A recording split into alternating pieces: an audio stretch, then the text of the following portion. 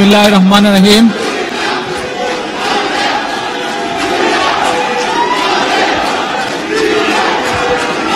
বিসমিল্লাহ রহমান রহিম আচ্ছা, দেখি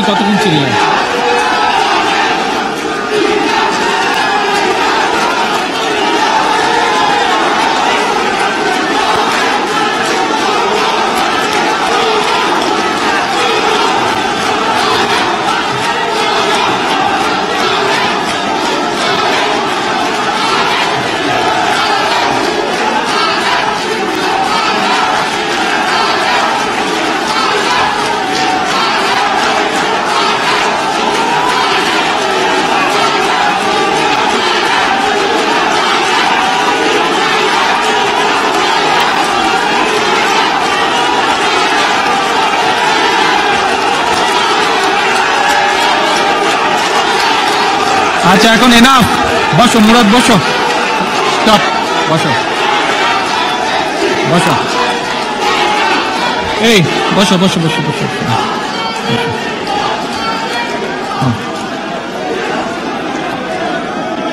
ওই যে পিছনে বসো।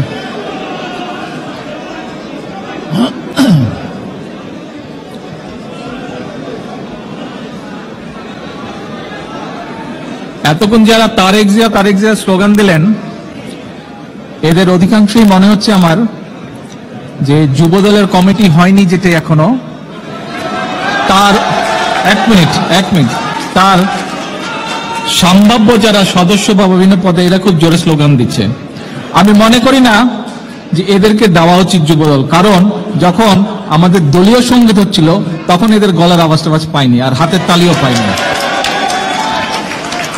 কাজে বিষয়টি বিবেচনা করে দেখতে হবে আমাদেরকে। এনিওয়ে বসো। যুবদলের যারা সবাই বসো। বিসমিল্লাহ রহমান রহিম। আজকের বসো। বসো বসো don't try to be too smart okay বসো। বিসমিল্লাহ রহমান রহিম। আজকের আমাদের এই জাতীয় বিপ্লব ও সংহতি দিবসের এই অনুষ্ঠানের সম্মানিত সভাপতি, অনুষ্ঠানে উপস্থিত নেতৃবৃন্দ, আমার সামনে উপস্থিত যুক্তরাজ্য বিএনপি এবং বিএনপির বিভিন্ন জোনাল কমিটি থেকে আগত নেতৃবৃন্দ, বিভিন্ন অঙ্গ সংগঠন নেতৃবৃন্দ, বিভিন্ন অঙ্গ সংগঠন এবং মূল দলের কর্মী ভাইরা, সাংবাদিক ভাইরা আসসালাম আলাইকুম আজকে কেন আমরা এখানে সকলে একত্রিত হয়েছি, অবশ্যই আপনারা সবাই ওয়াকেফল, অর্থাৎ ভালোভাবে অবগত। এবং এই আজকের এই দিবসটির সাথে আমরা সংহতি প্রকাশ করি বলেই আজকে সকলে আমরা এখানে একত্রিত হয়েছি। উনিশশো সালের এই দিনটিকে আমরা শ্রদ্ধার সাথে স্মরণ করি বলেই উনিশশো পঁচাত্তর সালের এই দিনটিকে দিনটির সাথে আমরা সংহতি প্রকাশ করি বলেই আজ বাংলাদেশে যে সকল মানুষ জাতীয়তাবাদের শক্তিতে, বাংলাদেশি জাতীয়তাবাদের শক্তিতে, আদর্শে, বিশ্বাসী, তারা সকলেই তাদের নিজ নিজ অবস্থান থেকে সংহতি প্রকাশ করে এই দিনটির প্রতি।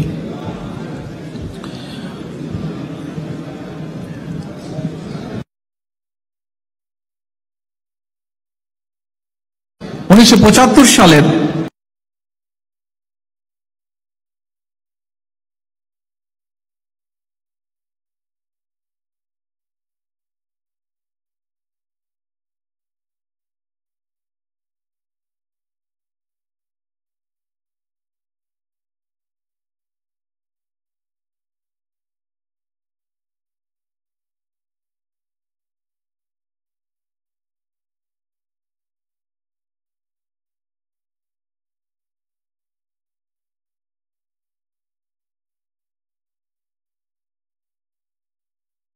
বাংলাদেশকে দেখতে চেয়েছিল।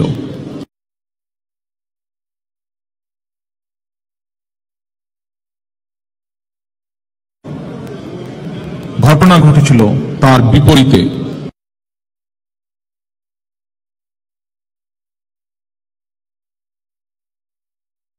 যেসব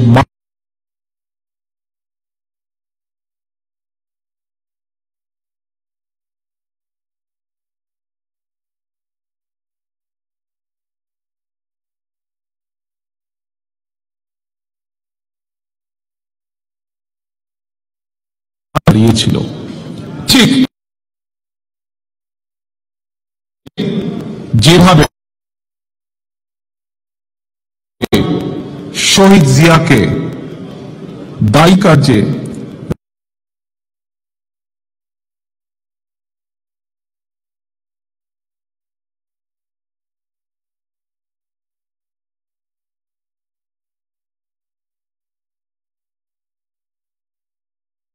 রাজনৈতিক শক্তি যা ছিল বাংলাদেশে, তারা ব্যর্থ হয়েছিল, তারা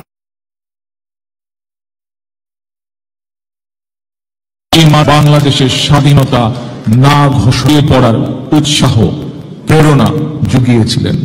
সংঘবদ্ধ করেছিলেন সাত কোটি মানুষকে একটি স্বাধীন সার্বভৌম বাংলাদেশ প্রতিষ্ঠিত করার যুদ্ধে। এবং এ কারণেই এ কারণেই সাতই নভেম্বর প্রতিটি বাংলাদেশী কাছে, প্রতিটি দেশপ্রেমিক বাংলাদেশীর কাছে একটি অত্যন্ত তাৎপর্যপূর্ণ দিন।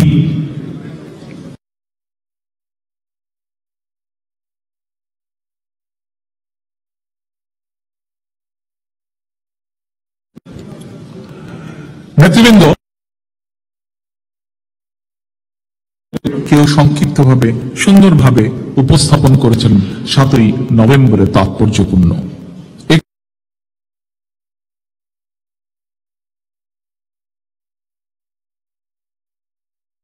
এখানে উল্লেখ করা প্রয়োজন আমি মনে করি। ধন্যবাদ জানাচ্ছি।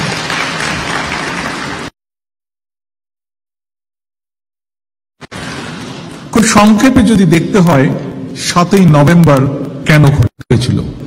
সাতই নভেম্বর ঘটেছিল শেখ মুজিব এবং আওয়ামী লীগের ব্যর্থতার জন্য। এবং সাতই নভেম্বর ঘটেছিল, আমরা যদি দোসরা নভেম্বর থেকে সাতই নভেম্বর পর্যন্ত দেখি, আমরা কি দেখতে পারব? যে পনেরোই আগস্টের উনিশশো পঁচাত্তর সালের ঘটনার পরে, যখন নভেম্বরের দুই তারিখে থেকে সাত তারিখ পর্যন্ত এই কয়দিন, এই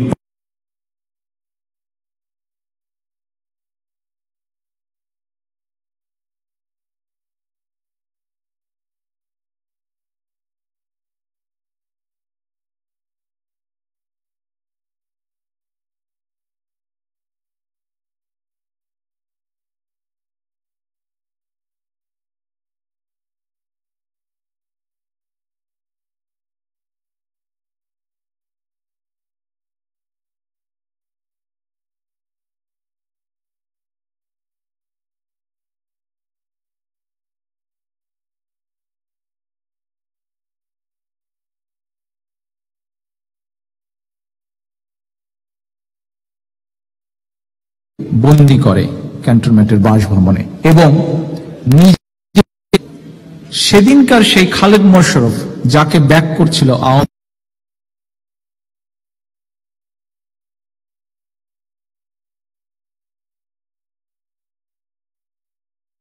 লীগ এবং তাদের অথচ আমরা আজকে কি দেখি? আজকে আমরা দেখি আওয়ামী লীগ এবং জাসদ একই প্ল্যাটফর্মে দাঁড়িয়ে একটি জোট গঠন করেছে।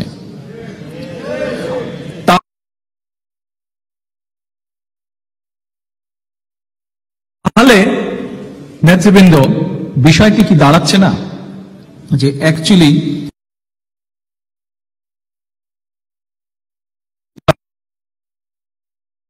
তারা যে কোনো নীতিকে বিসর্জন দিতে পারে। প্রয়োজনে খুন খারাপি থেকে আরম্ভ করে সকল কিছুই তারা করে নিতে পারে যদি তারা ক্ষমতা পায়।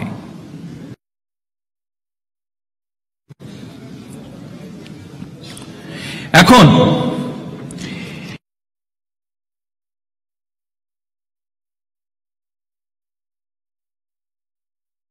এই যে পঁচাত্তর সালের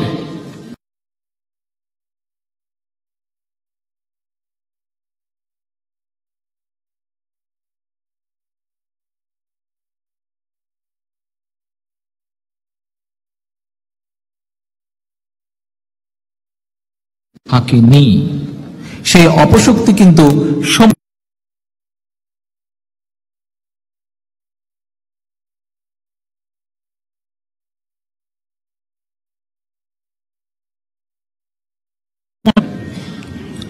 কিন্তু ইতিহাসকে আমরা ভয় ভীতি, অত্যাচার, নির্যাতনের মাধ্যমে, পুলিশকে ব্যবহার করার মাধ্যমে আমরা আটকে রাখি না কেন?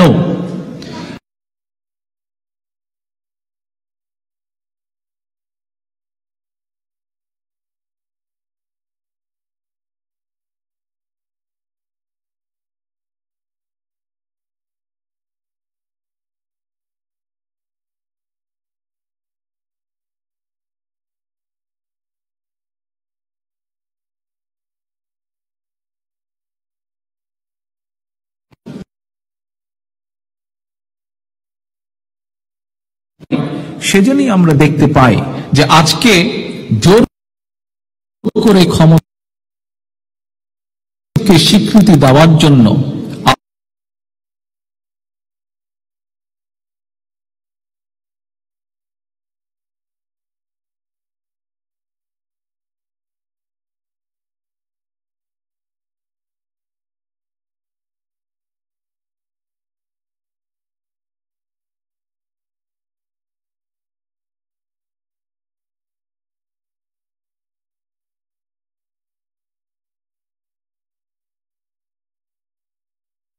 সমালোচনা করে, যা শেখ হাসিনা, অবৈধ রং হেডের শেখ হাসিনাকে সম- সমালোচনা করে। তাৎক্ষণিকভাবে তাদের বিরুদ্ধে খুঁজে খুঁজে চেষ্টা করা হয় ব্যবস্থা নেওয়ার। কাজেই এখানেই কিন্তু শহীদ জিয়া এবং শেখ মুজিবের পার্থক্য। এখানেই বিএনপি এবং এই আওয়ামী লীগের পার্থক্য। শহীদ জিয়া বা বিএনপিকে কখনোই কখনোই আদালতের আশ্রয় নিতে হয় না, প্রতিষ্ঠিত হওয়ার জন্য। কারণ শহীদ জিয়া তার আদর্শ, তার কর্ম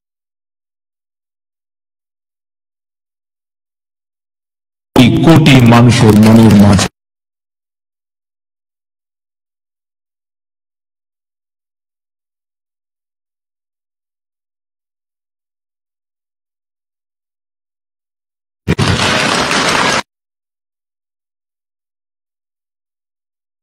মনের কাছে, মনের ভিতর।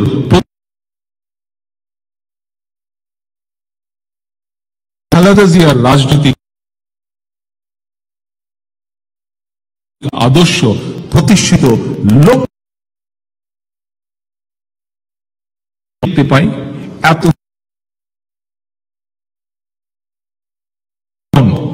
গ্রেফতারি পরোয়ানা মাথায় নিয়ে কয়দিন আগে দেশনেত্রী বেগম খালেদা জিয়া দেশে ফিরে গেলেন।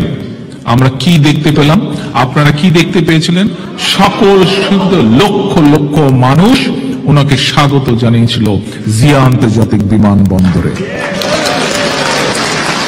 ঠিক একইভাবে কয়েকদিন পরে যখন দেশনেত্রী বেগম খালেদা জিয়া ঢাকা থেকে কক্সবাজারের উদ্দেশ্যে রওনা হলেন, রোহিঙ্গাদের শোচনীয় অবস্থা দেখার জন্য।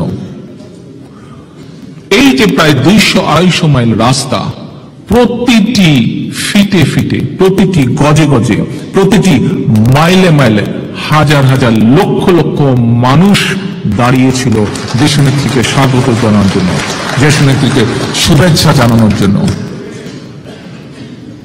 নেতৃবৃন্দ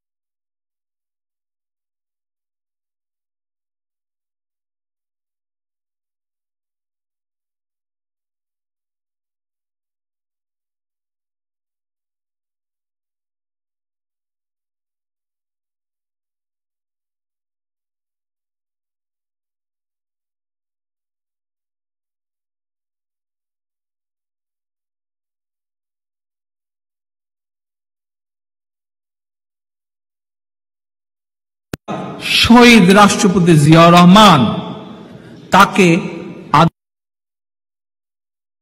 হয়নি।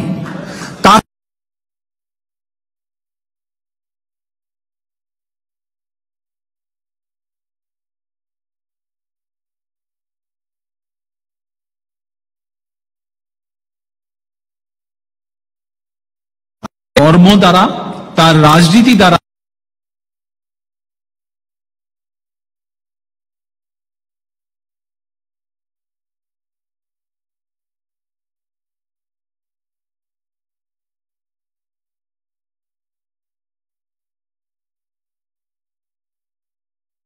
জিয়া বহ-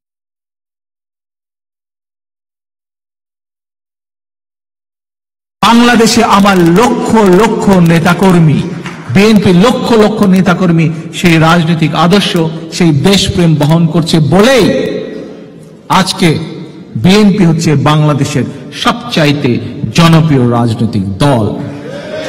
এবং এবং অপরপক্ষে যে রাজনৈতিক দলটি, যাদেরকে কোর্ট পুলিশ আদালত করে নিজেদেরকে প্রতিষ্ঠিত করতে হয়। আমরা কি দেখলাম? যখন দেশনেত্রী কক্সবাজার যাচ্ছিলেন, তখন তাদের কিছু নেতা কিছু কিছু মন্তব্য করেছে। কি মন্তব্য করেছে? তাদের হামিদ সাহেব এখানে বক্তব্যে তাদের এক নেতা সম্পর্কে একটি বিশেষ উপাধি দিয়ে বলে গেছেন। আমি আর তার নামটা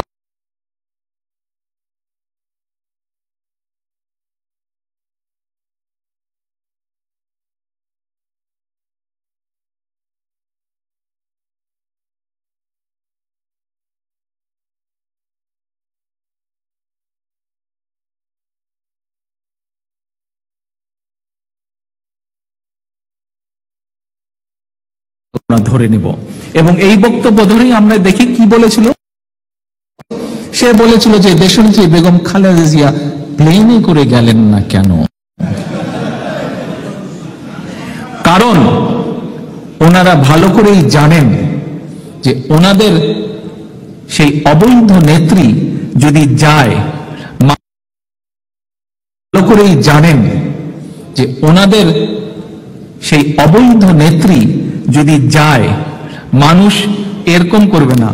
মানুষ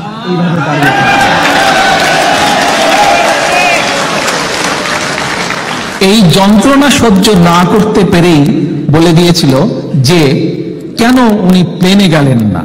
খালেদা জিয়া কেন প্লেনে গেলেন না? এবং এইটি যে কত বড় সঠিক কথা, তার প্রমাণ দুই দিন পরে আবার সে দিয়েছে। তার প্রমাণ দুই দিন পরে আবার সে দিয়েছে। কি বলল? কেউ তো তাকে জিজ্ঞেস করেনি। আপনারা, আমরা, কেউ কি তাকে জিজ্ঞেস করেছে? কেউ জিজ্ঞেস করেনি। নিজে নিজে বলে দিল, না না না আমাদের লোক বেশি হয়েছিল। দেখেছিলেন কথাটা? আরে তোরে কে জিজ্ঞেস করছে? কেউ জিজ্ঞাসছে তোরে যে তোদের লোক বেশি না আমাদের লোক বেশি মানে মনের মধ্যে কত বড় দুর্বলতা থাকলে, কত বড় হতাশা থাকলে এই কথাটি বলতে পারে। এই কথাটি তারা বলতে পারে। মানে একটি রাজনৈতিক দল আজ কোন পর্যায়ে পৌঁছলে এই কথাটি বলতে পারে। নেতৃবৃন্দ, এই যে শেখ মুজিবকে আওয়ামী লীগ যে কীভাবে প্রতিষ্ঠিত করেছে বা শেখ হাসিনাকে কীভাবে তারা প্রতিষ্ঠিত করতে চায়, আইন, আদালত, র্যাব, পুলিশ দিয়ে, এটি কিন্তু তাদের আজকের কোনো প্র্যাকটিস না। এই প্র্যাকটিসটি যে শুধু সে অবৈধ রং হেডেড শেখ হাসিনা করছে, তা নয় কিন্তু। এই প্র্যাকটিসটি যখন শেখ মুজিব জীবিত ছিল, ক্ষমতায় ছিল, সেই সময়েও কিন্তু তারা এই প্র্যাকটিসটি করেছিল। কীভাবে করেছিল? আপনাদেরকে আমি একটি উদাহরণ দিচ্ছি।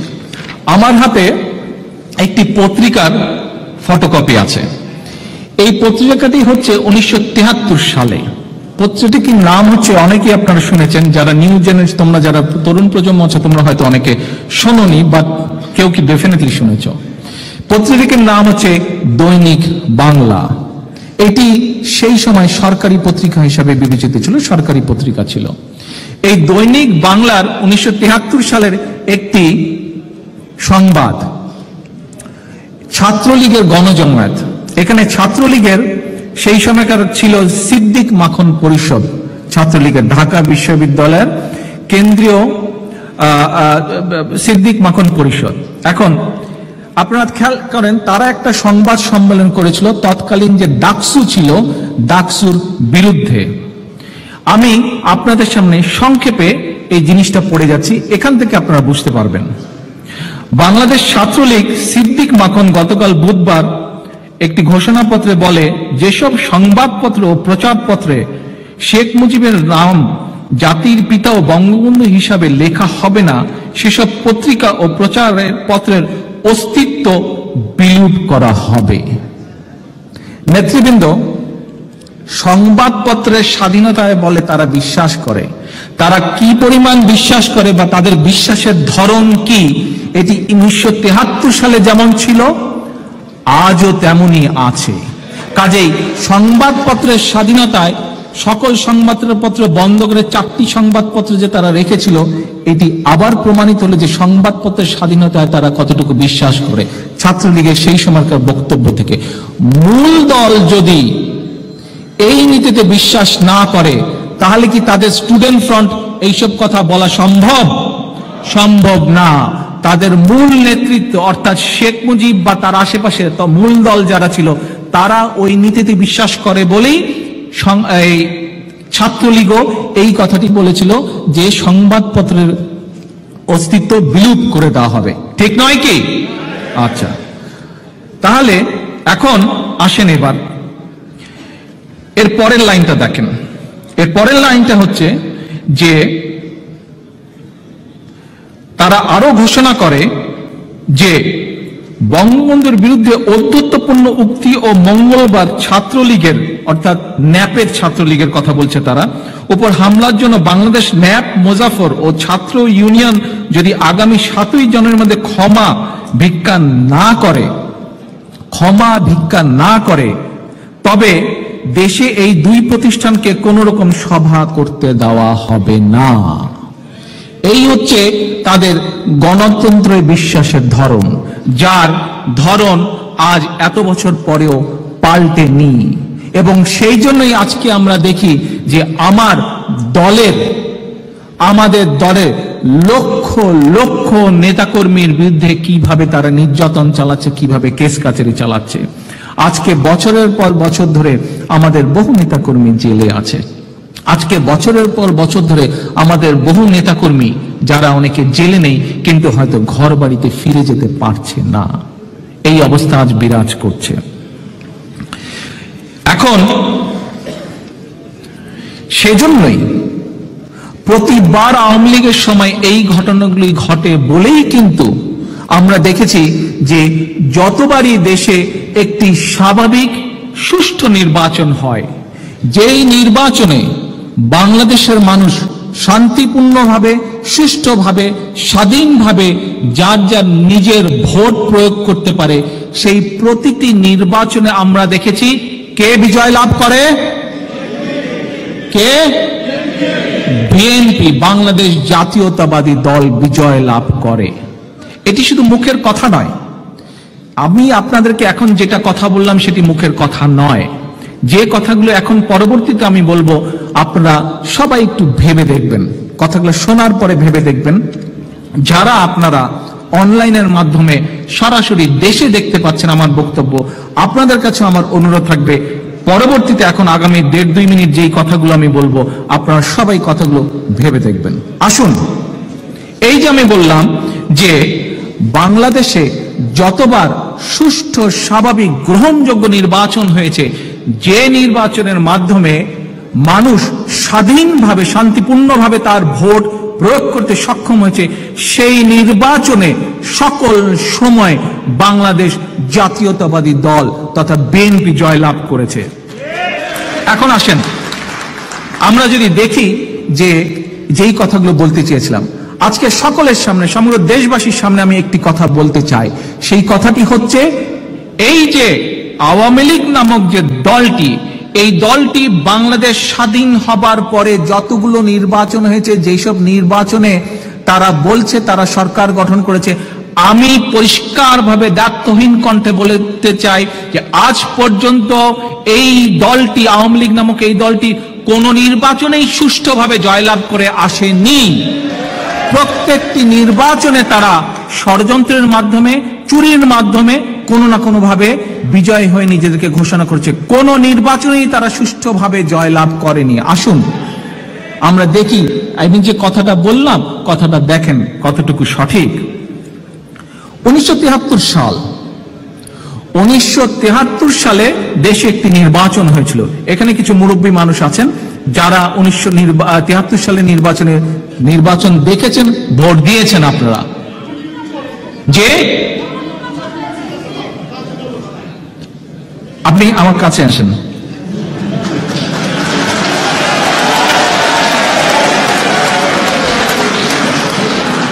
স্টেজের উপরে চলে আসেন।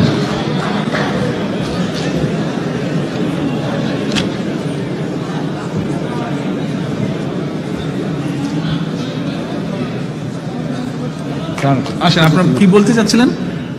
আমি তখন কুমিল্লা জেলা পুলিশে চাকরি করি। আমি তখন হাবিলদার। নাসিরনগর থানায় আমার ইলেকশনের ডিউটি ছিল। তখন জাসদ অংশ নিয়েছিল ওখানে জাসদের কিছু ভোট পড়ছিল ওই সময় ওই দখল করে নেয় আওয়ামী লীগের কিছু গুন্ডা ফান্ডারা আমাদেরকে বলে, চুপ করে বই থাকো। আমরা যা করি, তাই কই তোমার চাইয়া দেখো। আমি তখন পিজিটি অফিসার বলছিলাম, এটা হইতে পারে না। তখন আমি পিজিটি অফিসার উপরে বন্ধু কাজ করছিলাম তখন আমার বলছে যে আপনি কি করেন? আমি এটা কি করতে আছেন এখানে?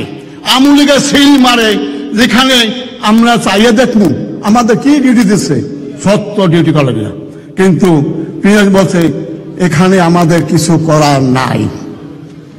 আর সেই অবস্থায় আমি চৌহত্তর সাল, পঁচাত্তর সালে আমি খুলনা খুলনা থেকে এই সাতই নভেম্বরে আগে আমি ঢাকায় চলে আসি। জনতা সিপাহী বিপ্লবে আমি নেতৃত্ব দিয়েছি। আমি একজন মুক্তিযোদ্ধা। আলাইকুম। আপনারা একজন, এমন একজন ব্যক- ব্যক্তির কাছ থেকে তিয়াত্তর সালের একটি ঘটনা শুনলেন, যেই ঘটনায় উনি নিজে ছিলেন, উপস্থিত ছিলেন। এবার আসেন, আমরা দেখি তিয়াত্তর সালের এই যে আমি বললাম, বাংলাদেশে এখন পর্যন্ত যতগুলো নির্বাচন আছে, যেই নির্বাচনে আওয়ামী লীগ দাবি করে যে তারা ভোটে জিতে এসেছে নো তারা কখনো কোনো ভোটে জেতেনি। তারা সবসময় ষড়যন্ত্র এবং ভোট চুরির মাধ্যমে এসছে। তিয়াত্তর সালে সাতই মার্চ এই সাধারণ নির্বাচনটি অনুষ্ঠিত হয়েছিল। তিনশো আসন ছিল। তিনশো আসনে এই আওয়ামী লীগ সহ চোদ্দটি রাজনৈতিক দলের প্রার্থী ছিল। মনোযোগ দিয়ে শুনবেন। এই যে পিছনে নেতৃবৃন্দ, এই যে পিছনের নেতৃবৃন্দ, এই যে নেতৃবৃন্দ, তোমার পিছনে, এই যে পিঙ্ক শার্টের পিছনে, এই যে আবার ঘুরে এদিকে এদিকে এদিকে, আমার দিকে। কথা শুনেন, আগে আমার কথা শুনেন, তারপরে নিজেরা আলাপ করেন। ওকে নিজে কথা বললে কিছু জানা যাবে না। এখন, এই নির্বাচনে চোদ্দটা রাজনৈতিক দল ছিল। কয়টি? চোদ্দটি। এবং প্রার্থী ছিল এক হাজার উননব্বই জন। স্বতন্ত্র প্রার্থী ছিল, চোদ্দটি রাজনৈতিক দলের ছিল এক হাজার উননব্বই জন। স্বতন্ত্র প্রার্থী ছিল উননব্বই জন। ওই নির্বাচনে আওয়ামী লীগ দুইশো তিরানব্বইটা আসনে নিজেদেরকে বিজয়ী ঘোষণা করে। ঠিক যেভাবে দুহাজার চোদ্দ সালে পাঁচই জানুয়ারি নিজেদেরকে ঘোষণা করেছিল, ঠিক একইভাবে বাপ বেটির মিল থাকতে হবে তো একইভাবে একইভাবে তারা দুইশো তিরানব্বইটা আসনে নিজেদেরকে বিজয়ী ঘোষণা করে। এর মধ্যে সাতটি আসনের মধ্যে একটি জাসদ, একটি বাংলাদেশ জাতীয় লীগ, আর পাঁচটি আসনে স্বতন্ত্র প্রার্থীকে বিজয়ী ঘোষণা করা হয়। এখন, কেন বিজয়ী ঘোষণা করা হয়? এই ঘটনাটা শোনেন, বা কারণটি শোনেন। কারণ, আমি বিশ্বাস করি এবং আমি মনে করি, এই যে আমরা একটু আগে যে ভদ্রলোকের বক্তব্য শুনলাম, এরকম হাজার হাজার মানুষ আছে যারা সেই দিনকার সাক্ষী হয়ে এখনও বেঁচে আছে এই পৃথিবীর বুকে, দেশের বুকে। ওই নির্বাচনে কিন্তু খোদ শেখ মুজিবুর রহমান ওই কারচুপিকে প্রশ্রয় দিয়েছিল, যেই ঘটনা এখানে মুরব্বী বলে গেলেন। তিয়াত্তর কারণ কেন শেখ মুজিব প্রশ্রয় দিয়েছিল বা শেখ মুজিব নিজে ইনভলভ ছিল, নিজে জড়িত ছিল সেদিনকার সেই সাতই মার্চের নির্বাচনে কারচুপির সাথে। পরের দিনের কয়েকটি পত্রিকার নিউজ দেখেন। আটই মার্চের পত্রিকার নিউজ দেখেন কয়েকটি। একটি পত্রিকা আসছে প্রথমে আমি একটি অঞ্চল দিয়ে শুরু করছি। সিলেট এক। এই কেন্দ্রে কেন্দ্রে ব্যালট বক্স ছিনতাই। পটুয়াখালীতে ব্যালট পেপার ছিনতাই। চট্টগ্রামে একত্রিশটি ব্যালট পেপার সহ দুই ব্যক্তি গ্রেফতার। ধামরাইতে রক্ষী বাহিনী সন্ত্রাস। ঢাকা শহর সহ বিভিন্ন ভোট কেন্দ্রে বিচিত্র ঘটনা ঘটেছে। পত্রিকাগুলো সে সময়ও লিখতে ভয় পেত, সেই জন্যই তারা বলছে বিচিত্র ঘটনা ঘটেছে। কারণ এইরকম চুরি তো দেশের মানুষ আগে দেখেনি, কাজে বিচিত্রই বটে।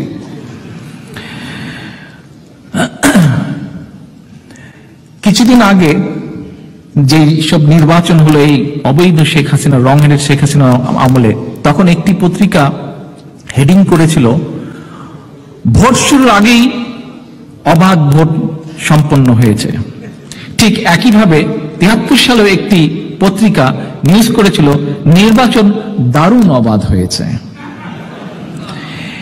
কারণ একজন একাধিকবার অবাধে ভোট দিতে পেরেছে। অবাধই হয়েছে, একজন একাধিকবার ভোট দিতে পেরেছে। জাসদের দুই কর্মী হাইজ্যাক ঢাকার একটি কেন্দ্রের সন্ত্রাস গুলি। এরকম ভাবে আরও অনেক হেডিং আছে। এই হলো স্বাধীন বাংলাদেশে আওয়ামী লীগ তথা শেখ মুজিবের আন্ডারে প্রথম নির্বাচন অনুষ্ঠিত হয়েছিল। যেই নির্বাচনে এই ঘটনাগুলি ঘটেছিল, বিচিত্র ঘটনাগুলি ঘটেছিল, যে নির্বাচনে, অবাধ নির্বাচনে এক একজন ব্যক্তি অবাধে একাধিক ভার ভোট দিতে পেরেছিল। পরদিন নয় মার্চ, আপনারা অনেকেই হয়তো জানেন, সেই সময় মোটামুটি ন্যাপ মুজাফর যে ছিল, তারা অনেকগুলো ক্যান্ডিডেট দিয়েছিল সেই নির্বাচনে। সেই নির্বাচনে পরের দিন, নির্বাচনের পরের দিন, অর্থাৎ আটই মার্চ, তারা একটি বিবৃতি দেয়। বিবৃতিটা আমার ইম্পর্টেন্ট বিবৃতিটা যদি শুনেন, কারণ তারা তখন অপোজিশন ছিল, বিবৃতিটা যদি শুনেন, তাহলে আরও ক্লিয়ার বুঝতে পারবেন। বিবৃতিতে তারা বলেন, কমপক্ষে সত্তরটি আসনে ন্যাপ ও অন্যান্য বিরোধী রাজনৈতিক দলের প্রার্থীদের সুনিশ্চিত বিজয় শাসক দল ক্ষমতার চরম অপব্যবহার, ভুয়া ভোট, পোলিং বুথ দখল, পোলিং এজেন্ট অপহরণ বিদেশি সাহায্য সংস্থা, জাতিসংঘ সরকারি গাড়ি রেডক্রসের গাড়ি, অপব্যবহার প্রভৃতি চরম অগণতান্ত্রিক কার্যকলাপের মাধ্যমে উক্ত নির্বাচন ক্ষেত্র সমূহকে নির্বাচনে প্রহসনে পরিণত করেছে। একই দিন এই যে জাসদকে নিয়ে যেই ইনুকে নিয়ে অবৈধ হাসিনার রং এদের হাসিনার এত প্রেম এখন, সেই জাসদও কিন্তু সংবাদ সম্মেলন করেছিল। আসেন, সেই জাসদ কি সম্মেলন করে কি বলেছিল? সংক্ষেপে দেখি। তারা সেদিন বলেছিল, দেখেন আমি একটু আগে বলেছি না, যে শেখ মুজিব নিজেই সেই ভোট কারচুপির নেতৃত্ব দিয়েছিল। এই ইনু জাসদি সেটি প্রমাণ করে দিয়েছিল পরের দিন তাদের বক্তব্যের মাধ্যমে। তারা বলেছিল, নির্বাচনের দিন গণভবনে নির্বাচন কন্ট্রোল রুম স্থাপিত হয়েছিল এবং স্বয়ং শেখ মুজিব নির্বাচনের ফলাফল নিয়ন্ত্রণ করেছে। বিরোধী দলের প্রার্থীরা যখন ভোট গণনায় এগিয়ে যাচ্ছিল, তখন মুজিবের নির্দেশে আকস্মাত বেতার টেলিভিশনে এই সকল কেন্দ্রের ফলাফল বন্ধ করে দেওয়া হয় এবং সন্দেহজনকভাবে দীর্ঘ সময় পর নিজেদের পছন্দসই ভোটের সংখ্যা প্রকাশ করে আওয়ামী লীগের প্রার্থীদের বিজয়ী ঘোষণা করা হয়। এই ইনুজাসদি প্রকাশ্যে বলেছে, শেখ মুজিব স্বয়ং সেই কারচুপির নেতৃত্ব দান করেছিল। নেতৃবৃন্দ, এখন আসেন। এর পরে তিয়াত্তরের পরে তারা ক্ষমতায় আসলো কবে? কবে আসছিল আবার ক্ষমতায়? বলেন বলেন বলেন, তাড়াতাড়ি বলেন। উনিশশো ছিয়ানব্বই সালে। কারণ উনিশশো একানব্বই সালে সাতাইশে ফেব্রুয়ারি যে নির্বাচনটি হয়েছিল বাংলাদেশ সহ সমগ্র তাবৎ পৃথিবী বলেছিল, সেটি একটি নিরপেক্ষ নির্বাচন হয়েছিল শাহাবুদ্দিন সাহেবের অধীনে। বলেছিল না? এবং সেই নির্বাচনে কারা জয়লাভ করেছিল? বিএনপি জয়লাভ করেছিল। আমি আগেই বলেছি, আপনাদের নিরপেক্ষ নির্বাচন, যেই নির্বাচনে দেশের মানুষ শান্তিপূর্ণভাবে, সঠিকভাবে নিজের ভোটটি কাস্ট করতে পারে, ভোট সিল মারতে পারে, নিজের ভোটে নিজে সিল মারতে পারে, সেই রকম ভোট হলে বিএনপি জয়লাভ করে। ছিয়ানব্বই সালে আমরা কি দেখলাম? ছিয়ানব্বই সালে আমরা দেখলাম শেখ হাসিনা এই রং হেডের শেখ হাসিনা আবার ষড়যন্ত্র করল। সেনাবাহিনীর মধ্যে ষড়যন্ত্র করে একটি কু ঘটালো। মনে আছে আপনাদের? ঠিক তাই নয়। তারা একটি মঞ্চ বানালো আবার। সিভিল প্রশাসনের কিছু অফিসারদেরকে ষড়যন্ত্রের মধ্যে তারা ইনক্লুড করল। করে তারা কি মঞ্চ বানালো? জনতার মঞ্চ সকল জনতার মঞ্চ মানিয়ে সেখান থেকে প্রশাসনের কর্মকর্তা কর্মচারীদেরকে ভয়, ভীতি, সকল কিছু প্রদর্শনের মাধ্যমে সেই নির্বাচনে তারা ইনফ্লুয়েন্স করল ভয়ভীতির মাধ্যমে এবং জোর করে ফলাফল তাদের পক্ষে নিয়ে গেল। যখন আমরা দাবি করলাম, মেজর রফিক তাদের তৎকালীন সেই সময়কার সরকারের চাঁদপুরের থেকে ছিল যে তাদের ভোট রিকাউন্ট করার জন্য চারশো ভোটে তাকে দেখিয়েছে, জিতে গেছে। যখন আমাদের ক্যান্ডিডেট জিতে যাচ্ছে, আমরা যখন বললাম যে ভোট কাউন্ট করতে হবে, জোর জবস্তি যখন আমরা হইচই শুরু করলাম, তখন হঠাৎ করে রাত্রেবেলায় বলে সেই ব্যালট বক্সে যেখানে রেখেছিল, সেখানে আগুন ধরে গেল। সেই চাঁদপুরে যেখানে ব্যালট বক্সগুলো রাখা ছিল, সব ব্যালট বক্সে আগুন ধরে গেল। ডিসি অফিসে এখন, এরকম অনেকগুলো ঘটনা আমরা দেখেছিলাম, ছিয়ানব্বই সালে হয়েছিল। কাজেই দেখেন, ষড়যন্ত্র, সেনাবাহিনীর মধ্যে ষড়যন্ত্র করল কো করার চেষ্টা করল, আবার সিভিল প্রশাসনের মধ্যে ষড়যন্ত্র, জনতার মঞ্চ করে এবং ভোট চিন্তায় সবকিছু টাকা পয়সা দিয়ে আবার একটি ষড়যন্ত্রের মাধ্যমে তারা নির্বাচনে আসলো। যেভাবে তিয়াত্তর সালে ক্ষমতায় থেকেও তারা যে ষড়যন্ত্র করেছিল, আবার সেরকম ষড়যন্ত্র করে তারা ক্ষমতায় আসলো। আসেনের পরে দু সালে আমরা কি দেখলাম? দু হাজার এক সালে আমরা দেখলাম যে সেই সময় লতিফুর রহমান সাহেব যেভাবেই হোক, উনি এইসব সকল ষড়যন্ত্রকে উপেক্ষা করে যেভাবে হোক নেতৃত্ব দিয়ে কেয়ারটেকার সরকারের মাধ্যমে নেতৃত্ব দিয়ে উনি একটি স্বচ্ছ নির্বাচন অনুষ্ঠিত করলেন। যেই নির্বাচন স্বচ্ছ, নিরপেক্ষ হিসাবে স্বীকৃতি পেয়েছিল আবার একাত্তর একানব্বই সালের মধ্যে সমগ্র বাংলাদেশে এবং সমগ্র পৃথিবীর কাছে। এবং সেই নির্বাচনে আবার কারা জয়ী হয়েছিল? কি ভাই? ঘুম পাচ্ছে নাকি? ইয়েস জোরে বলেন, সেই নির্বাচনে আবার বিএনপি জয়যুক্ত হয়েছিল। আসেন এবার। আবার আমরা কি দেখলাম? আবার যখন নির্বাচনের সময় আসলো, দুই হাজার সাত সালে শুরু হলো আওয়ামী লীগের তাণ্ডব, শুরু হলো আওয়ামী লীগের সন্ত্রাস, শুরু হলো আওয়ামী লীগের ষড়যন্ত্র এবং সেই ষড়যন্ত্রের মাধ্যমে তারা এই ওয়ান ইলেভেন নিয়ে আসলো। শেখ হাসিনা নিজেই বলেছে, এটা বলে তাদের আন্দোলনের ফসল ছিল, বিএনপির বিরুদ্ধে ষড়যন্ত্র ছিল। শুধু তাই নয়, এই ষড়যন্ত্র আরও কিছুটা লম্বা হলো। ষড়যন্ত্র লম্বায় কোথায় গেল? আমরা দেখলাম যে এই ষড়যন্ত্রটা দু বছর পর্যন্ত লম্বা হলো। শেখ হাসিনাকে কোনোভাবে আওয়ামী লীগকে কোনোভাবে হজম করানো যায় কিনা দেশের মানুষের কাছে। এবং সেই নির্বাচনে আমরা দেখলাম কি অনেকগুলো আসন, অনেকগুলো সংসদীয় আসন যেখানে একশো পার্সেন্টের বেশি ভোট কাস্ট হলো। একশো পার্সেন্টের বেশি ভোট যখন কাস্ট হলো, তাহলে কি বুঝতে কোনো বাকি থাকে সেসব জায়গায় কি হয়েছে? সেদিন বহু মানুষ সেই নির্বাচনে দু হাজার আট সালে সেই নির্বাচনে লক্ষ লক্ষ মানুষ তারা ভোট কেন্দ্রে গিয়ে দেখল তাদের ভোট কাস্ট হয়ে গিয়েছে। কিন্তু এই যে ষড়যন্ত্রটা সেই দুই সালে ষড়যন্ত্রের মাধ্যমে আবার ক্ষমতায় আসলো, এই ষড়যন্ত্রের ভিতরে আরও কিছু ষড়যন্ত্র রয়ে গেছে, নেতৃবৃন্দ। এই ষড়যন্ত্রটিও সংক্ষেপে আমাদেরকে আলোচনা করতে হবে, আমাদেরকে জানতে হবে। এখন এই ষড়যন্ত্রটি বোঝার আগে, জানার আগে আপনাদেরকে কিছু জিনিস শুনতে হবে। কি সেটি? আমাদের প্রতিবেশী রাষ্ট্র ভারতে কিছুদিন আগে একজন রাষ্ট্রপতি ছিলেন। যিনি কিছুদিন আগে রাষ্ট্রপতির মেয়াদ শেষ করে এখন অবসরকালীন সময়ে গেছেন। মিস্টার প্রণব মুখার্জি। প্রণব মুখার্জি সাহেব একটি বই লিখেছেন। আপনারা কি এই বইটি সম্পর্কে জেনেছেন এর মধ্যে? কারা কারা এই বইটি সম্পর্কে জানেন না? হাত তুলেন তো। কারা কারা এই বইটি সম্পর্কে জানেন না? হাত তুলেন। আপনারা যারা যারা জানেন না, হাত তুলেন। আচ্ছা তাহলে দেখা যাচ্ছে অধিকাংশ মানুষ জানেন। কারা কারা জানেন এই বইটি সম্পর্কে? আমি কিন্তু ডাক দিব, ডাক দিয়ে জিজ্ঞেস করব এখানে। কাজে বুঝে শুনে হাত তুলেন। আচ্ছা ঠিক আছে। আজকে আর পরীক্ষা নিচ্ছি না, আমরা সংক্ষেপে আলোচনাটা শেষ করছি। এই যে বইটি, বইটিতে মিস্টার প্রণব মুখার্জি, জনাব প্রণব মুখার্জি কতগুলো কথা বলেছেন। উনি কি বলেছেন? এই কথাগুলো থেকে কিন্তু কতগুলো জিনিস বুঝে নিতে হবে যে আওয়ামী লীগ বা এই রং হেডের শেখ হাসিনা যে কীভাবে ষড়যন্ত্রের সাথে বা আওয়ামী লীগ যে আবার কীভাবে ষড়যন্ত্রের সাথে দুহাজার আট সালে ক্ষমতায় এসেছে সেটি বুঝতে হবে। রাজনীতি একটি বিষয় যেখানে সব জিনিস সহজ সরল ভাবে বোঝানো যায় না, বোঝা যায় না। একটি কথা আছে, আকলমানকে ইশারা কাফি। আপনারা আকলমান মানুষ বুঝে নিতে হবে আপনাদেরকে। দেশের মানুষকেও বুঝে নিতে হবে। দেশের মানুষ, আমি দেখছি, অনেক জিনিস অনেক পরিষ্কার বোঝে। এখন, জনাব মুখার্জি সাহেব ওনার বইতে লিখেছেন দু হাজার আট সালের ফেব্রুয়ারিতে বাংলাদেশের তৎকালীন সেনাপ্রধান মইনি আহমেদ ছয় দিনের সফরে ভারতে এলেন। তিনি আমার সাথে সাক্ষাৎ করলেন।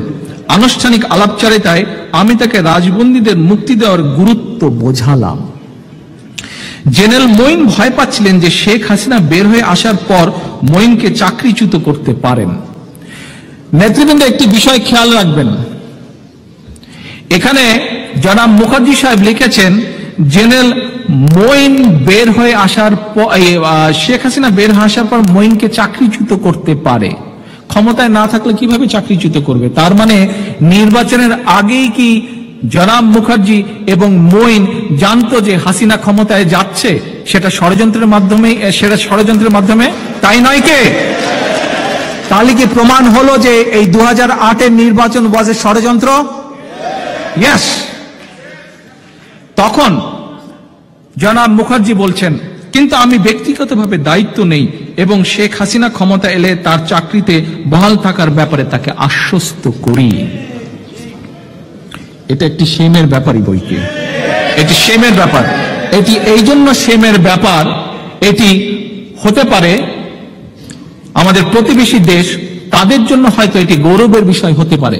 কিন্তু আমি মনে করি বাংলাদেশের ষোলো সতেরো কোটি মানুষ এবং বিশেষ করে আমাদের যাদেরকে আমরা দেশপ্রেমিক সেনাবাহিনী বলি আমাদের সকলের জন্য এটি অত্যন্ত একটি শেমফুল ব্যাপার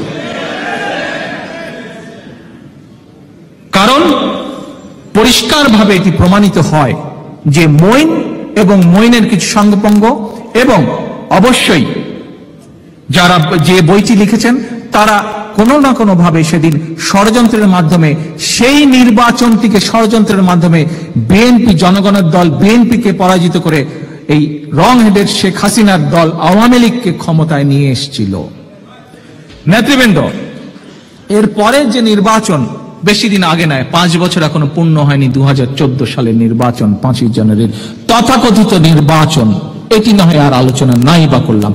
এই যে আপনাদেরকে আমি তিনটি নির্বাচনের উদাহরণ দিলাম এবং একটি নির্বাচন আপনাদের অতি অতি, খুব স্বল্প অতীতেই রয়ে গেছে দু হাজার চোদ্দ সালে পাঁচই জানুয়ারি। এই চারটি নির্বাচনে আওয়ামী লীগ রাষ্ট্র ক্ষমতায়।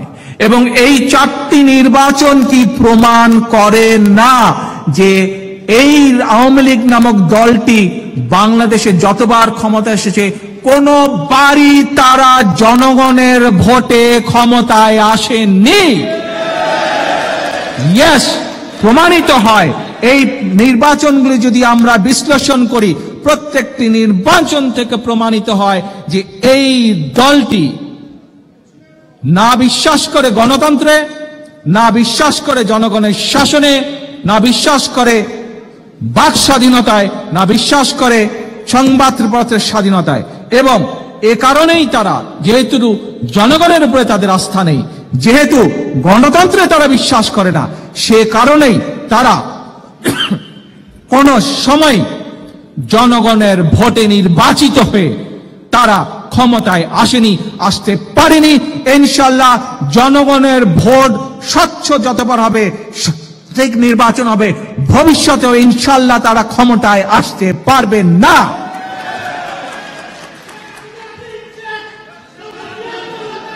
এখন এখন,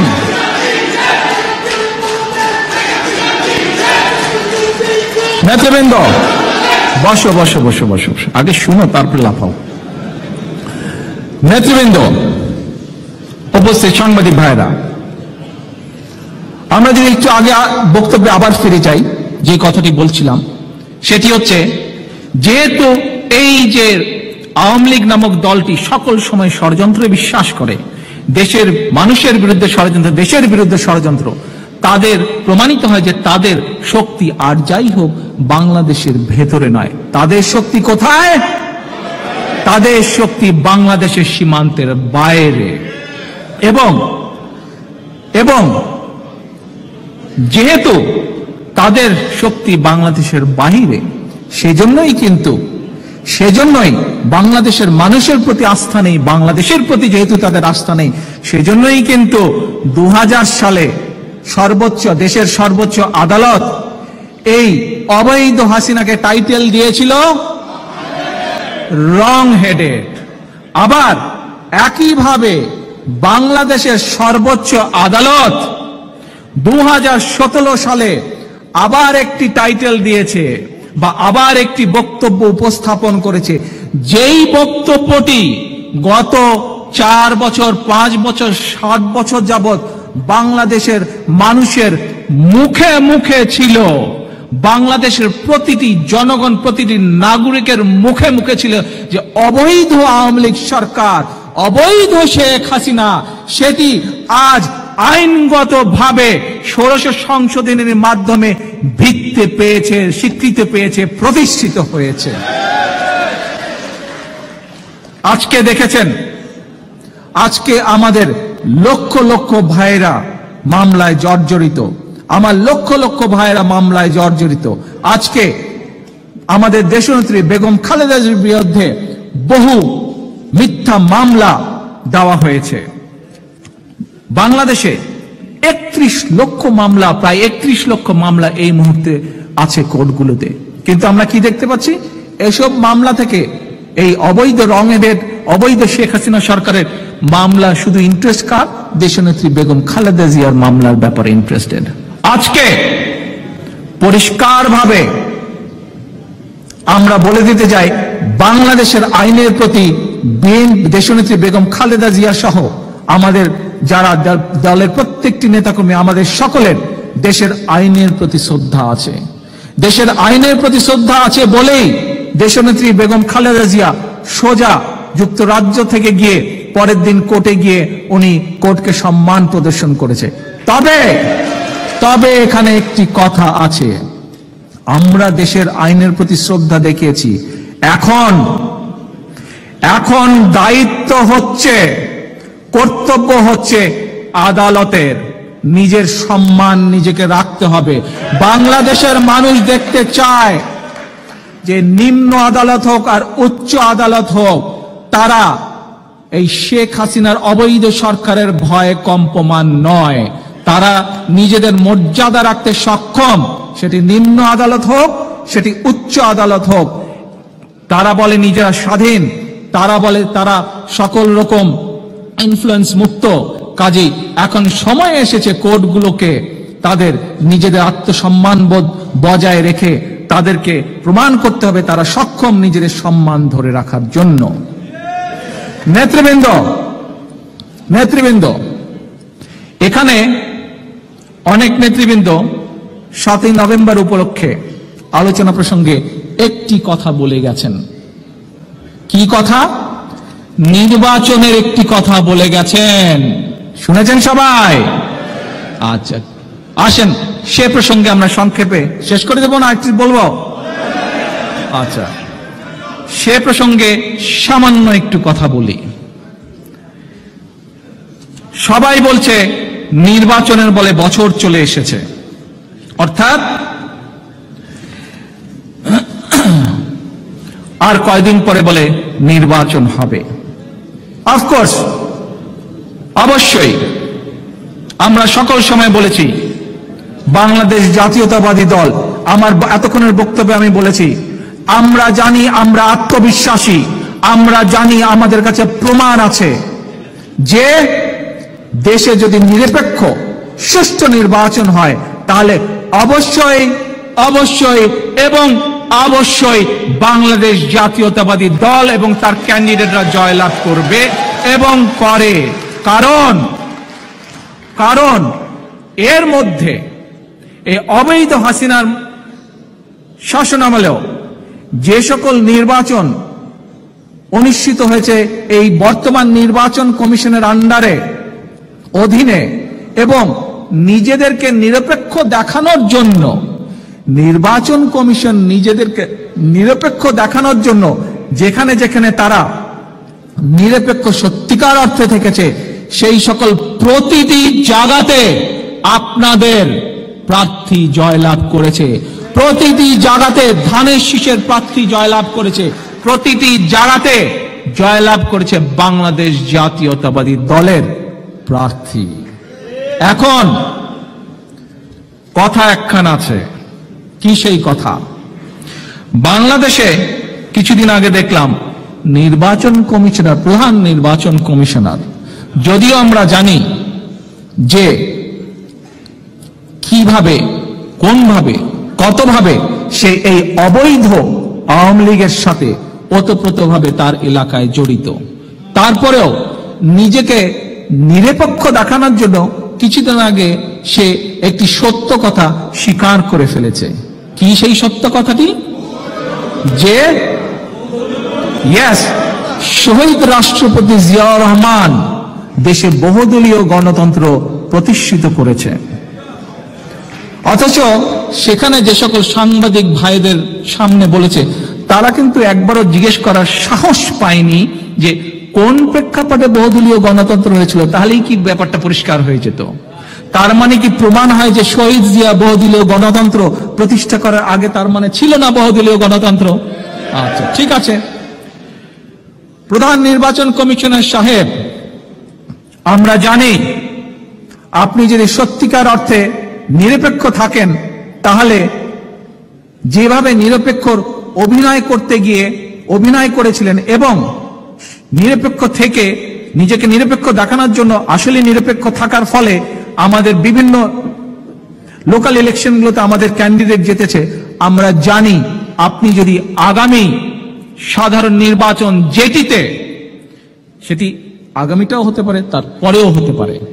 কোনটি আমরা জানি না, এটি সময়ে বলে দিবে, পরিস্থিতি বলে দিবে। দেশের মানুষ সেটি বলে দিবে। সেটি এক বছর পরেও হতে পারে, দু বছর হতে পরে হতে পারে।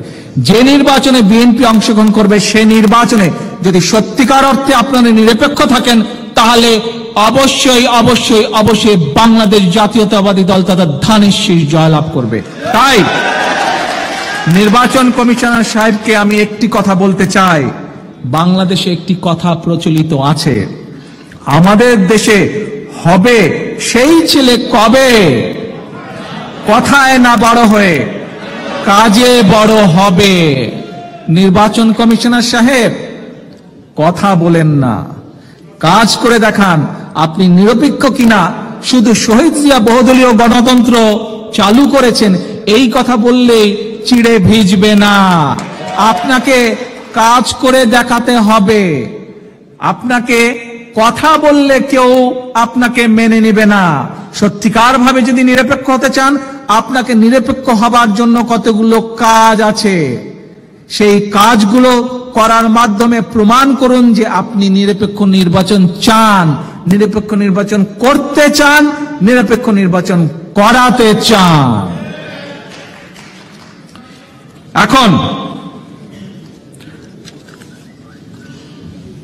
শেষ করার আগে, বক্তব্য শেষ করার আগে সংক্ষেপে একটি পয়েন্ট দিয়ে শেষ করতে চাই।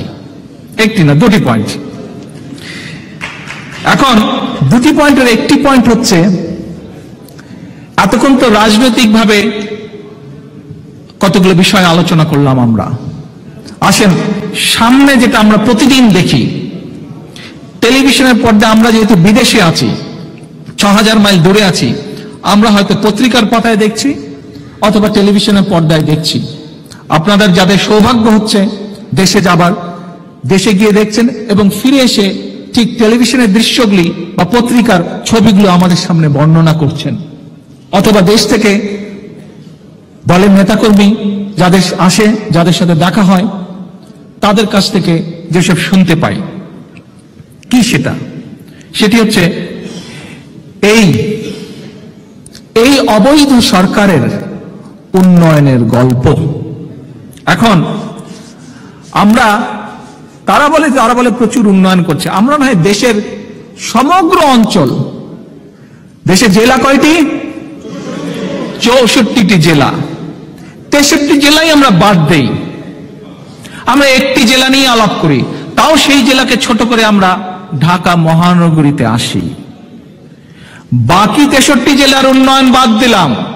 ঢাকা জেলার উন্নয়নও বাদ দিলাম। ঢাকা জেলার একটি অংশ সেটি হচ্ছে ঢাকা মহানগরী।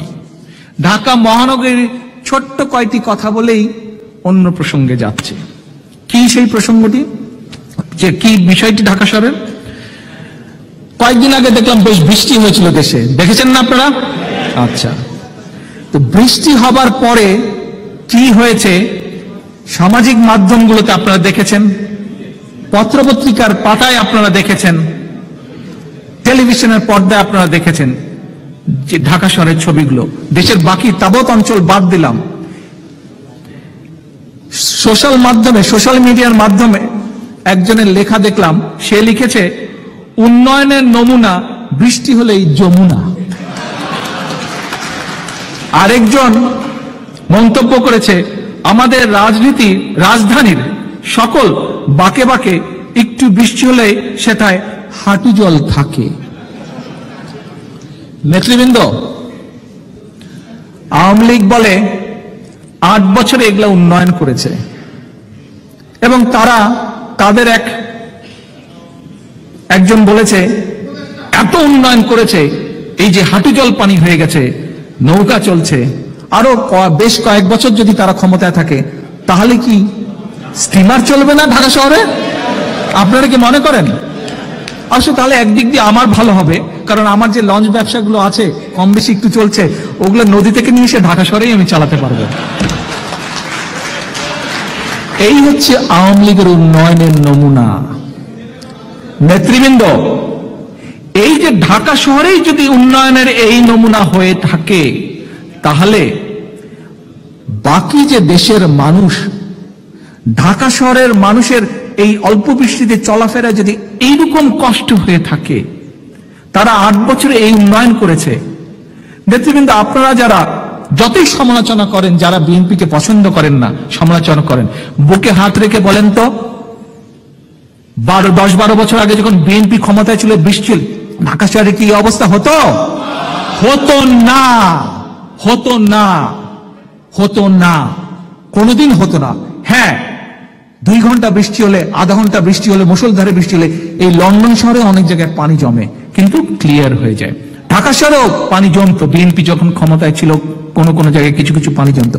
কিন্তু হয়তো আধা দিনে বা একদিনে ক্লিয়ার হয়ে যেত, যেখানে বেশি জমতো। কিন্তু দিনের পর দিন এভাবে থাকতো না। এভাবে স্টিমার চলবে, এই স্বপ্ন কেউ দেখতো না, এই কৌতুক কেউ করতো না সেদিন। আট বছর উন্নয়ন যদি এই হয়, বাইরে ওই দশ পনেরো বছর যদি থাকে, তাহলে তো স্টিমার চলবে, জাহাজ চলবে ঢাকা শহরে। এখন তাহলে আপনারা চিন্তা করতে পারেন, এই উন্নয়ন দিয়েই চিন্তা করতে পারেন, সমগ্র দেশের বাকি তেষট্টি অঞ্চলে কি পরিমাণ তেষট্টি জেলায় তারা কি উন্নয়ন করেছে। আমাদের উন্নয়ন নিয়ে আমার মনে হয় না আর কথা বলার প্রয়োজন আছে। এখন নেতৃবৃন্দ, যেহেতু একটু আগে বলেছি, বিএনপি জনমানুষের দল, জনগণের দল। ডেফিনেটলি বিএনপি বিশ্বাস করে জনগণের শাসনে, গণতন্ত্রে জনগণের উপরে আস্থা আছে বলেই বিএনপি নির্বাচন করে। এবং যে নির্বাচন সুষ্ঠু এবং নিরপেক্ষ হবে ডেফিনেটলি অ্যান্ড ডেফিনেটলি বিএনপি সেই নির্বাচনে অবশ্যই অংশগ্রহণ করবে। কিন্তু যেহেতু নির্বাচন নির্বাচন একটি কথা চলে এসেছে, আমি আজকে অনুরোধ করব, আমার সামনে যারা আছেন, যারা ক্যামেরার মাধ্যমে আমাকে দেখতে পাচ্ছেন, বিশেষ করে বিদেশে যারা দেখতে পাচ্ছেন। বিদেশে যারা দেখতে পাচ্ছেন, সেই সকল ভাই বোনকে আমি অনুরোধ করব একটি, শুধুমাত্র যারা বিএনপি রাজনীতির সাথে ভাই বোনেরা যুক্ত আছেন, শুধুমাত্র তাদেরকে নয়। আপনি যদি নিজেকে একজন বাংলাদেশি বলে দাবি করে থাকেন এবং বিদেশে আপনি আছেন, তাহলে এটিও আপনার পবিত্র দায়িত্বের মধ্যে পড়ে দেশপ্রেমের অংশ হিসাবে। কি সেটি? নেতৃবৃন্দ কিছুদিন আগে জিএফআই নামে আমেরিকার একটি সংগঠন, তারা একটি তথ্য প্রকাশ করেছে যে গত দশ বছরে বাংলাদেশ থেকে ছয় লক্ষ কোটি টাকা বিদেশে পাচার হয়েছে। ছয় লক্ষ কোটি টাকা বিদেশে পাচার হয়েছে। এবং বিভিন্ন সময় বিভিন্ন পত্রপত্রিকার নিউজে আপনারা এই ধরনের অসংখ্য নিউজ দেখেছেন? বাংলাদেশ ব্যাংকের ডাকাতি থেকে আরম্ভ করে শেয়ার মার্কেটের ঘটনা থেকে আরম্ভ করে বিভিন্ন আরও কেলেঙ্কারি থেকে আরম্ভ করে এসব ঘটনা প্রচুর আমরা দেখেছি গত আট বছরে তাদের তথাকথিত উন্নয়নের ঘটনা, তথাকথিত চুরির ঘটনা ব্যাংক ডাকাতির ঘটনা। সকল দেশপ্রেমিক বাংলাদেশি যারা বিদেশে আছেন, আপনাদের কাছে আমার অনুরোধ থাকবে, এই যে বিদেশে লক্ষ লক্ষ কোটি টাকা পাচার হয়ে গিয়েছে, এই টাকাগুলো, অর্থগুলো কিন্তু আপনাদেরই বিদেশ থেকে পাঠানো দেশে অর্থ। আপনাদেরকে খেয়াল রাখতে হবে, এই আগামী এক বছর, দেড় বছর, ছয় মাস, আট মাস, যে কয়দিন একটি সঠিক নির্বাচন না হচ্ছে, এই আওয়ামী লীগের হায়না পশুরা, এরা, চোরেরা, ডাকাতেরা, এরা এই টাকা আরও বেশি পরিমাণে টাকা বিদেশে পাচার করবে এবং বিদেশে পাচার করে তারা বাড়ি কিনবে, বিভিন্ন জিনিস বা সম্পত্তি, সহায় সম্পত্তি কিনবে। কারা কোথায় আওয়ামী লীগের কি সহায় সম্পত্তি কিনছে, এটি আপনাদেরকে খুঁজে বের করতে হবে, নজর রাখতে হবে কোথায় তারা কি কিনছে। এই দায়িত্বটি আপনাদেরকে নিতে হবে। প্রবাসী যত বাংলাদেশি আছেন, আপনাদেরকে নিতে হবে বিকজ এই ঘটনাগুলি ঘটছে, তাদের এই সম্পত্তি, যেই টাকা দিয়ে সম্পত্তি কিনছে, সেই টাকার মালিক আপনারা। আপনাদের টাকা দিয়ে টাকা চুরি করে এনে তারা বিদেশে সম্পত্তি কিনছে, বিদেশে ব্যবসা বাণিজ্য করে তুলছে। কাজে আপনাদের দায়িত্ব অন্তত এই দায়িত্বটুকু আপনাদেরকে পালন করতে হবে যে কোথায় তারা কি করছে সেই চুরি করে আনা টাকা দিয়ে। এবং ইনশাল্লাহ যখন আপনাদের নির্বাচিত বিএনপি সরকার গঠন করবে, তখন আস্তে আস্তে এর হিসাব সবগুলো আমরা বের করব এবং এই ব্যক্তিগুলোকে আমরা শাস্তি দিব। কিছুদিন আগে কিছুদিন আগে নিশ্চয়ই আপনাদের খেয়াল আছে, এই রং হেডেড অবৈধ শেখ হাসিনা যুক্তরাষ্ট্রে গিয়েছিল। মনে আছে? এবং কি এক গল ব্লাডার অপারেশনের এক গল্প ফেদে বসেছিল। এবং সেই গল্প ফেদে সে কয়েকদিনের জন্য বেমালুম গায়েব হয়ে গিয়েছিল। মনে আছে? বেশি দিন আগের ঘটনা নয়। বেশি দিন আগের ঘটনা নয়। এবং পরে ধীরে ধীরে জানা গেল, সে বলে, কার একটি বিশাল অট্টালিকা প্রমাণ বাড়িতে ছিল? ঘটনা দেখেছেন? নিউজ পড়েছেন? হ্যাঁ? হবে।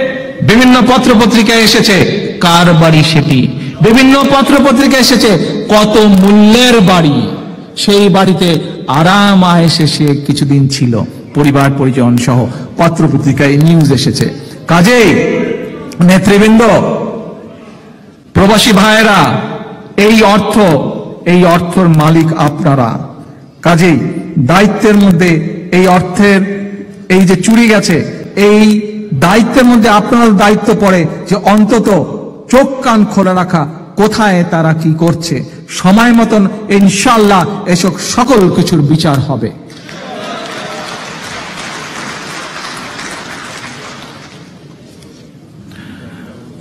এখানে কিছু সাংবাদিক ভাইরা বসে আছেন। অত্যন্ত দুঃখ হলেও একটি কথা না বলে আমি পারছি না সাংবাদিক ভাইদেরকে। বিষয়টি হচ্ছে,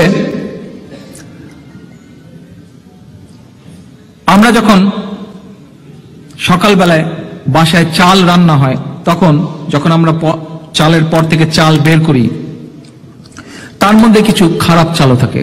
তাই না? সামান্য কিছু অল্প খারাপ চাল থাকে, সেটি পরিষ্কার করে বের করে তারপরে ভালো চালটি রান্না করা হয়। সাংবাদিক ভাইরা সবাই ভালো, তাও যেমন নন, সাংবাদিক ভাইরা সকলে খারাপ, তাও নন। আমাদের মধ্যেও রাজনীতিবিদদের মধ্যে যেরকম ভালো খারাপ আছে, সমাজের সকল শ্রেণির মধ্যেও সেরকম ভালো এবং খারাপ আছে। আমরা একটি বিষয় প্রায় খেয়াল করে থাকি। সেই বিষয়টি হচ্ছে বাংলাদেশে কিছু কিছু সংবাদকর্মী এবং কিছু কিছু সংবাদপত্র উদ্দেশ্যমূলকভাবে শহীদ রিয়া দেশনেত্রী বেগম খালেদা জিয়া, বাংলাদেশ জাতীয়তাবাদী দল সম্পর্কে বিভিন্ন রকম উদ্দেশ্যমূলক মিথ্যা এবং বিভ্রান্তিমূলক সংবাদ পরিবেশন করে থাকে। আমি সেই সকল সংবাদপত্রের মালিক বা সেই সকল সংবাদপত্রের কর্মীদের উদ্দেশ্যে বলতে চাই। আমরা জানি আপনারা যারা এসব করেন বা করছেন, আমরা জানি মালিক হিসাবে অথবা সংবাদপত্র কর্মী হিসাবে আপনারা এই অবৈধ সরকার থেকে কোনো কোনো কোনোভাবে বেনিফিটেড, অবৈধভাবে। এবং আপনারা আরও বেশি বেনিফিটেড হওয়ার জন্য এসব করে থাকেন। আপনাদের উদ্দেশ্যে বলতে চাই, এই কাজ করা থেকে বিরত থাকার চেষ্টা করবেন। কারণ আপনাদেরকে যখন মানুষ দেখে টেলিভিশনের পর্দায় অথবা আপনাদের লেখা পড়ে, পরিষ্কারভাবে বোঝা যায় যে আপনারা উদ্দেশ্যমূলকভাবে এই বিভ্রান্ত বা এই বিভ্রান্তিমূলক বিষয়টি উপস্থাপন করছেন বা লিখছেন। এবং তখন দূর থেকে আপনাদেরকে দেখতে বা আপনাদের লেখা পড়লে মনে হয় আপনারা একটি আত্মসম্মান বোধহীন, একটি অত্যন্ত নিম্ন শ্রেণির প্রাণী। কাজেই নিজেদেরকে এতটা নিম্নে নামাবেন না, কারণ আপনারা হচ্ছেন আল্লাহর সৃষ্টির সেরা মানুষ। নিজেদেরকে এতটা নিম্ন শ্রেণীতে নামাবেন না দয়া করে। নেতৃবৃন্দ, বিশেষ করে আমার নতুন প্রজন্মের ভাই বোনদের উদ্দেশ্যে একটি কথা বলতে চাই। যেহেতু বারে বারে একটি প্রসঙ্গ চলে আসছে, সেই প্রসঙ্গটি হচ্ছে নির্বাচন। বিএনপি, বাংলাদেশ জাতীয়তাবাদী দল যেহেতু গণতন্ত্রে বিশ্বাস করে, যেহেতু জনগণের শক্তিতে বিশ্বাস করে রাজনৈতিকভাবে, যেহেতু আস্থা আছে গণতন্ত্রের উপরে সেজন্যই আমরা মনে করি বাংলাদেশের মানুষের সমর্থন নিয়েই আমরা সরকার গঠন করব ইনশাল্লাহ এবং এবং সেজন্যই নতুন যে প্রায় সোয়া কোটি ভোটার লিস্টেড হয়েছে, অর্থাৎ ভোটের লিস্টে যে নতুন সোয়া কোটি ভোটার, নতুন প্রজন্মের ভোটার যারা অন্তর্ভুক্ত হয়েছে, তোমাদের সকলের কাছে আমার একটি আহ্বান, একটি অনুরোধ থাকবে। এই দেশ তোমাদের, এই দেশকে তোমাদের এগিয়ে নিতে হবে, গড়তে হবে এবং সেই জন্যই তোমাদেরকে সজাগ থাকতে হবে, তোমাদেরকে দৃঢ় থাকতে হবে। কীভাবে? সেটি হচ্ছে কোনো কিছু, ভালো কিছু পেতে হলে নিজেকে কষ্ট করতে হয়। অর্থাৎ, তুমি যদি ভালো শিক্ষা পেতে চাও, তুমি যদি ভবিষ্যতে শিক্ষার পরে ভালো চাকরি অথবা ব্যবসা, নিরাপদ ব্যবসা বাণিজ্যের সুযোগ পেতে চাও, তাহলে সেই অধিকার প্রতিষ্ঠার জন্য তোমাদেরকে লড়াই করতে হবে। আমি নতুন প্রজন্মের ভাই, বোনদের, বিশেষ করে যারা নতুনভাবে ভোটের লিস্টে অন্তর্ভুক্ত হয়েছে তোমাদেরকে আমি বলছি না যে তোমরা লাঠি ছোটা নিয়ে পথে নামবে। তোমাদেরকে আমি আহ্বান জানাচ্ছি, যে নির্বাচনে বাংলাদেশ জাতীয়তাবাদী দল অংশগ্রহণ করবে, সেই নির্বাচনে তোমাদেরকে দৃঢ় থাকতে হবে যাতে তোমরা সঠিকভাবে নিজেরা নিজেদের ভোট নিজেরা দিতে পারো। সেই দৃঢ়তা মনে রাখতে হবে, সেই দৃঢ়তা নিয়ে সেদিন ভোট কেন্দ্রে যেতে হবে। এবং সঠিকভাবে সিদ্ধান্ত নিয়ে তোমার ভোট তোমাকে দিতে হবে। মনে রাখতে হবে, তুমি নিরাপদ ভবিষ্যৎ যদি চাও, তুমি যদি চাও নিরাপদ চাকরির অধিকার অথবা নিরাপদে ব্যবসা বাণিজ্যের অধিকার, তাহলে সেই অধিকার প্রতিষ্ঠার জন্য তোমাকে ভোট যুদ্ধে অংশগ্রহণ করতে হবে এবং সেই যুদ্ধে তোমাদেরকে জিততে হবে। পরিশেষে, আজকে সকল নেতৃবৃন্দের কাছ থেকে বিদায় নেবার আগে এবং আজকের এই জাতীয় বিপ্লব এবং সংহতি দিবসের প্রতি আবার একত্রতা ঘোষণা করে বিদায় নেবার আগে আমি আমার দেশের লক্ষ কোটি বিদেশে অবস্থানরত লক্ষ লক্ষ নেতাকর্মীর উদ্দেশ্যে একটি বক্তব্য, একটি আহ্বান রাখতে চাই। সেই আহ্বানটি হচ্ছে, সামনে আমরা সিদ্ধান্ত নিব দেশের পরিস্থিতি বিবেচনা করে আমরা কোন দিক যাব, কি পদক্ষেপ গ্রহণ করব। কিন্তু এই আওয়ামী লীগ যারা পারদর্শী একটি মাত্র কাজে, সেটি হচ্ছে ষড়যন্ত্র, সেটা হচ্ছে খুন খারাপি, সেটি হচ্ছে ধ্বংস, যাই দলটি এইসব কাজে পারদর্শী তারা কিন্তু বসে থাকবে না। কারণ এই গত আট দশ বছর তারা জনগণের রক্ত চুষে যে সকল সম্পদ তৈরি করেছে, যে সকল অর্থ ধন সম্পদ লুটপাট করেছে, এই আগামী নির্বাচন বা আগামী যেটি আসবে, সেটি হচ্ছে তাদের এই ধন সম্পদ রক্ষার যে অন্যায় তারা করেছে, সেই অন্যায় থেকে বেঁচে থাকার তাদের যুদ্ধ। কিন্তু বাংলাদেশ জাতীয়তাবাদী দলের প্রত্যেকটি নেতাকর্মীর যুদ্ধ হবে। জনগণের যে অধিকার হারিয়ে গিয়েছে। প্রত্যেকটি নেতাকর্মী, বিএনপির প্রত্যেকটি নেতাকর্মীর দায়িত্ব হবে যে গণতান্ত্রিক অধিকার আমরা হারিয়ে ফেলেছি। মানুষ তাদের যে বাক স্বাধীনতা হারিয়ে ফেলেছে। দেশ তাদের যে সার্বভৌমত্ব হারিয়ে ফেলেছে, সেটি প্রতিষ্ঠা করা। তাদের যুদ্ধ হবে? এই অবৈধ সরকার, শেখ হাসিনার অবৈধ সরকারের যুদ্ধ হবে তাদের চুরি করা ধন সম্পদ, তাদের অন্যায় থেকে বেঁচে থাকার যুদ্ধ। আর আমাদের অধিকার আমাদের দায়িত্ব এবং কর্তব্য হবে মানুষের অধিকার প্রতিষ্ঠার যুদ্ধ। মানুষের অধিকার প্রতিষ্ঠার যুদ্ধ হবে আমাদের আগামী দিনের লক্ষ্য। এবং সেই জন্যই তারা আমাদের শত্রুপক্ষ, প্রতিপক্ষ, রাজনৈতিক শত্রু, রাজনৈতিক প্রতিপক্ষ, তারা কিন্তু বসে থাকবে না।